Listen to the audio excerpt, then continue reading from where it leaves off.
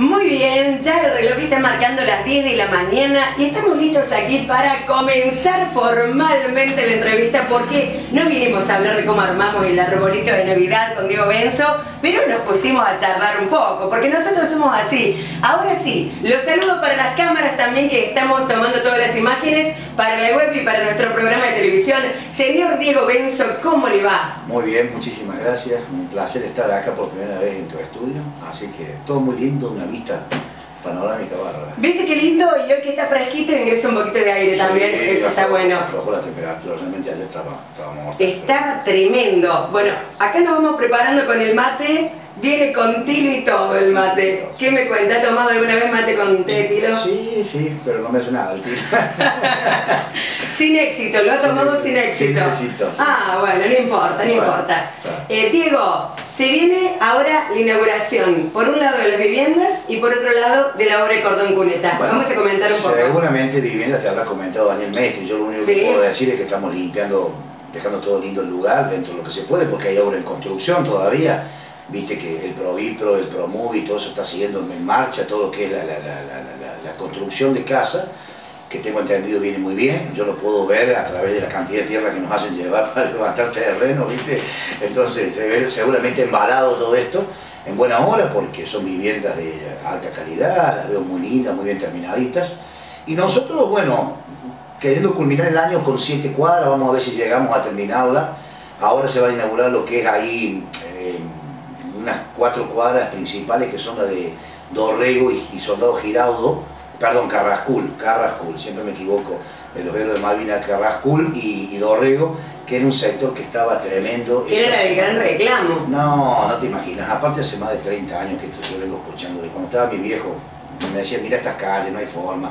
Bueno, entonces cuando se largó este plan de obra que, que, idea- que tiene la idea el contador gastado, con Carlito André, el intendente, ellos idearon este fondo de obra. Hernando, no nos olvidemos que fue uno de los primeros municipios que empezó con este fondo de obra, a partir de esta gestión, eh, donde intervienen empresas privadas, Claro. aportes, bueno, lo que vos ya sabés, que mucha gente aporta con esto, y, y bueno, y se largó esta obra y, y la- y la- lo primero que dijimos, che, vamos a hacer este sector porque es más complicado. De hecho que nos demoramos mucho porque octubre vino muy lluvioso, se arrancó el 15 de septiembre y hoy a tres meses casi, terminando el 15 de diciembre, vamos a estar tres meses terminando lo que es las dos calles de Dorrego, las dos calles de Carrascul, la Chile, una parte de la Chile y otro soledito de Cagliones, que ahí es el primer cordón de cuneta serrano, que no es el, el cordón tradicional, sino que es una cunetita Sí. porque entonces no hay no hace falta hacer los- el cordón ese que molesta como hay cualquiera puede estacionar el auto a 45 grados arriba de la vereda y eso va con un adoquinado va a quedar muy hermoso se presta el barrio la vivienda para hacer eso así que bueno las calles se han enarenado y la y la noticia de que toda cuadra con cordón con este que se haga va a la forestación por detrás. Ahí se van a colocar 200 árboles 203 especies. En realidad son crespones rosas rosados, hay Sina Sina y Zen, que es una planta hermosa, son autóctonas, no, no así el crespón, que es un híbrido, pero bueno, va a embellecer, entonces esto le va a dar, eh, va- vamos jerarquizando, nivelamos veredas, no sé, todas esas cosas, y los vecinos, la verdad que bueno, ayer llovió, estaba ahí con la familia Cañete, ahí con, con varios vecinos, y me decían, mira lo que era antes esto, un lío, bueno, ahora el agua pasa, se va y se termina el problema del barro, que no Claro. podían salir, no podían salir y el municipio no tenía cómo darle solución. Terminaba de llover, nosotros teníamos que esperar tres días que se secara, a lo mejor volvía a llover, entonces esto es, es una solución. Esta obra, la verdad que genera la solución porque esto que decías, aparte después también el tránsito, Totalmente. cuando se pasa, se obstaculiza, Sí, sí, los chicos cuando no pueden ir a la escuela o te ensucian Todo, mucho, la todo, casa, todo. digamos todo un trastorno. Ahí hay gente enferma que tiene problemas de movilidad, imagínate vos cada vez que tenía que ir alguien a sacarlo, era todo un tema. Así que bueno, ahora eh, seguramente hay cosas que, que mejorar. Esto no solamente, Silvina, eh, es, un, es un plan de obra, que son 17 cuadras, y bueno, supongo que se va a unir junto al plan nacional que viene de mejoramiento del barrio norte y barrio meguino, que eso bueno, ya es con cloacas, con todo. Este, la verdad que estamos muy orgullosos porque estoy convencido que este gobierno la- la- va a ser el gobierno de la obra pública, porque la forma que se vienen dando las cosas, el intendente tiene esta premisa y, desde que nos conocemos de chicos siempre, che, hagamos pavimento, cordón cuneta. Hace tiempo que no se hace cosa, hay que meterle pavimento, hay que meterle cordón cuneta. El cordón cuneta es el alineador de todo, este, podés hacer la vereda, podés plantar el canastito, la plantita, este, bueno, en definitiva, enarenar bien y que el agua circule. Así que la verdad que estamos muy contentos. Diego, eh, quería decirte que toda la obra pública representa dinero, lógicamente. Y esto que estabas diciendo me parece que no es un dato menor, porque la, buena relación que hay entre los diferentes gobiernos permite también que no se obstaculice esto de recibir fondos también para poder llevar, porque una cosa son las intenciones, las buenas intenciones, y otra cosa por ahí contar con los recursos para poder concretar. Esas intenciones. Sin ningún lugar a duda. A ver, en esto, el país ha cambiado desde el punto de vista de poder conversar ahora más allá de la, situación grave, que todos sabemos, grave, diríamos difícil, grave, grave sería una catástrofe natural. Yo siempre digo, tenemos que mirar un poco, más vale que el tipo que no le alcanza para comer se le complica tremendamente y hay que entenderlo. Pero también hay, ahora empezó el diálogo, el otro día lo vimos en la fiesta del maní para cuando vino el presidente, había tres colores políticos ahí. Y eso antes no se daba, porque parecía que era imposible. Y bueno, llegará la época de la elección y cada cual se irá para su lado, pero en esto por lo menos la gente lo que necesita es soluciones. ¿Qué le importa si está arriba el presidente o la presidenta o el gobernador o la gobernadora o un intendente de otro partido? Eso es, eso es muy relativo. La gente, esta gente de ahí de, ese sector le preguntas y te dice yo quiero el puneta, no me importa quién lo haga. Bueno, y eso va a generar también una masa crítica de fondo porque los, los vecinos eso es una obra a cuenta de terceros por mejoramiento, entonces tienen que devolver, tienen que pagar y eso va a generar que vaya a haber más inversión sobre otros sectores de la ciudad. Entonces se vuelve un círculo virtuoso y no un círculo vicioso donde no se hacía nada, entonces nadie tenía el beneficio de la obra, no había más fondo y se, se extinguía ahí. Y bueno, por ahí el, esto no te compete, eh, Diego, porque vos concretamente con el tema de la obra pública, pero por ahí hay dificultades para poder pagar y esto también hace que se frene. Esto también es una, una, realidad. Indudablemente, bueno, está previsto para aquel vecino que no pueda pagar, lógicamente eso ya, ya, ya está estipulado, siempre estuvo eso. Ahora, convengamos que hay sectores que tienen el dinero y no le llevan la obra pública. Entonces, imagínate vos, hay que tratar de ver, de buscar la vuelta.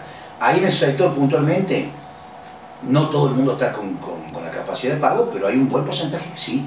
De hecho, que lo hemos estado conversando, hay gente que ha ido y ha pagado de contado y que puede decir, pero ¿cómo? Y sin embargo fue pago de contado. ¿Ah, que parecía que no, y lo pagaron de contado. Y están haciendo un esfuerzo tremendo, no voy a hacer nombres, pero gente que tiene, ¿me entendés? Y entonces, yo charlando porque nos bajamos y hablamos con el vecino, entonces la verdad, están tan contentos, tan contentos porque realmente el lío que había ahí era interesante, ¿no? Diego, eh, preguntarte, porque uno siempre va mirando como a largo plazo, ¿no? Que trate de ir resolviendo cuestiones de forma inminente, esto que decíamos, se van estableciendo prioridades. Este sector del que vos hablas pareció que era la, importancia de arrancar con ellos por el tiempo que venían reclamando esta obra. Exactamente. A futuro, para los cuatro años, vos, eh, ¿cómo, cómo te vas manejando, Diego? Bueno, a ver, eh, la idea, para el año que viene. La idea es así, vamos a terminar ahí, ahora estamos terminando Escagliones, que nos llovió, queríamos llenar la otra margen del cordón Cuneta Serrano, se está llenando el cordón, la parte elevada del cordoncito de arriba, porque hacemos lo que es base y después lo que es el cordón, para que no se deforme la base cuando colocas el molde del cordón sobre la cuneta ya hecha. Y saltaríamos lo que es primero de mayo, luego Giraudo, ese sí es Giraudo allá, eh, estamos hablando de la calle Alberdi hacia el río, lo que es Villa 8, entonces... ¿Para qué lado? Sí.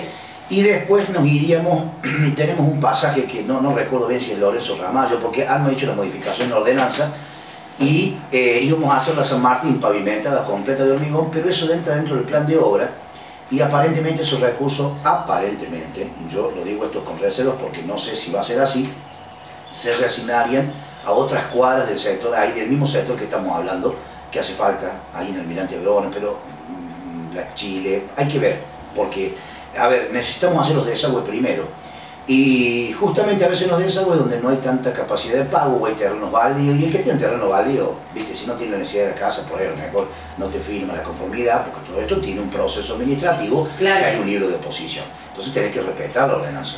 Pero bueno, el Ejecutivo puede tener necesidad de hacer eso. Entonces, para, para ser concreto, terminado eso, se avanza hacia lo que primero de mayo, Giraudo, hay un pasaje más y nos iríamos a la calle San Martín. Y a todo esto ya van, se van a empezar todo lo que es la obra de la, del Plan Nacional, que bueno, estamos viendo cómo implementarlo, porque la verdad que es mucho dinero y hace falta muchísima mano de obra, maquinarias, eh, por lo tanto, el municipio va a tener que ver cómo encarar esta situación, que ya la tenemos bastante avanzada. Claro, también el otro día la promesa de poder darle continuidad a la obra de cloacas. Bueno, eso se licita a partir del día 19 de diciembre. Casualmente fuimos con, nos encontramos en Córdoba el otro día con, con el intendente y con Nancy Marengo, la concejal, que estaba estaba con nosotros ahí, bueno, yo llegué, yo porque hicimos la reunión por el tema del, tema del subnivel, que también eso ya está encaminado, se va a empezar la licitación ahora, y, bueno, y casualmente no pudimos hablar con el secretario de Obras Públicas, pero lo vamos a hacer esta semana,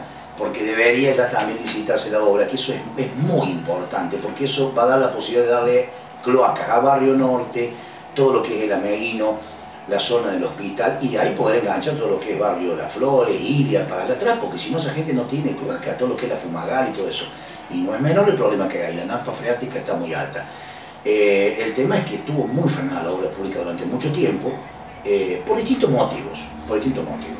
Y bueno, ahora se han alineado las cosas, esperemos que todo esto eh, resulte bien. Yo creo que sí, porque hay mucha buena predisposición. Y bueno, a partir de eso vamos a ver qué es lo que sucede. Bueno, así que vamos a reiterar la invitación a toda la gente porque hay dos inauguraciones. Por un lado vamos a tener el tema de las viviendas, que ya lo hemos estado hablando con Daniel Meister, que es el encargado del área de vivienda y familia, en donde se van a estar entregando, digamos, son, son nueve viviendas que me decía Daniel, que nueve, viviendas, de las cuales son siete del ProMovie y dos del Provitro. Claro, el otro plan, exacto. Exacto, son de dos planes que se van a estar entregando y también la inauguración de esta obra. Sí, sí, y bueno, y algo quiero agregar que estamos haciendo en arenados de calles y levantamiento en el barrio Alberdi, hicimos algo sobre el barrio de la Flor el 9 de julio, este, en estos momentos están trayendo arena en los camiones, que eso tanto, no habíamos podido entrar más y hoy actualmente vamos a descargar los terrenos baldíos para hacer acopio y nos hundimos. Qué este, tremendo. Y bueno, claro, viste, le va a llevar un tiempo. Ahora tenemos el otro problema, no llueve, los productores agropecuarios tienen problemas con la cosecha. Bueno, viste ayer el, fenómeno que sucedió en Punta del Agua, acá para el lado de Ojo de Agua tampoco nos dejó nada. La verdad que el cambio climático nos está pegando, así que bueno, debemos procurar el menor impacto entre todos, por eso esto de colocar plantas, cada cual tiene que hacer un poquito y que los vecinos lleguen las plantitas, que las cuiden, que no las quiebren, que nos acompañen, porque en definitiva es para ellos las plantas, no para nosotros. Es verdad. Va para todos, ¿no? Seguro. Ya vamos a hablar, no te, no te despido, sino que me voy a un tema musical, hacemos un corte, porque después vamos a hablar del tema de lo que vamos a hacer ahí con la Virgencita, porque recién ah. cuando estábamos hablando del arbolito de Navidad me dijiste algo de la Virgen, pero vamos a ir a un tema musical y después estamos hablando de eso. ¿Te parece, Diego? No. Sí, te quiero preguntar qué tal el mate. Muy bueno, muy bueno, a pesar de que venía corta la tema de la hierba, así que la suegra con la hierba.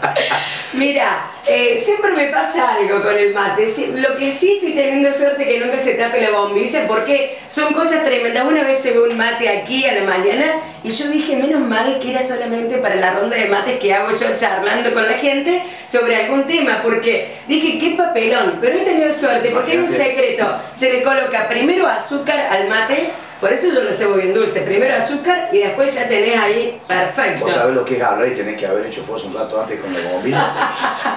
eso realmente es para todos los músculos.